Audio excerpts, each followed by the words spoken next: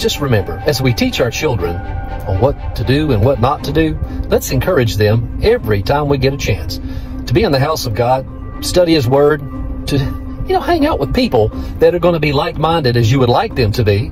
Help them listen to the right kind of music because that is an influence. And the things that they read and put into their minds. That means video games as well, parents. So, until I see you again at the appointed time, you have a blessed evening or a day wherever you may be. And remember, Heaven's Light Ministries, Preacher on Patrol, is praying for you. So be sure to subscribe and hit that like button. Till we see you then.